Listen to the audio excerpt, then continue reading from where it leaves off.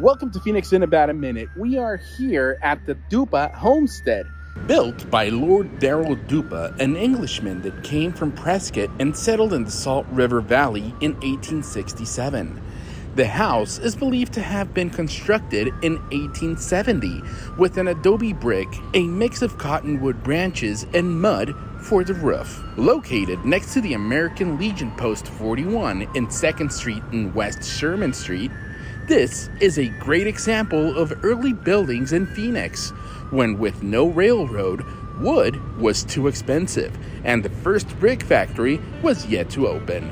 The house is under a restoration process and is being currently preserved.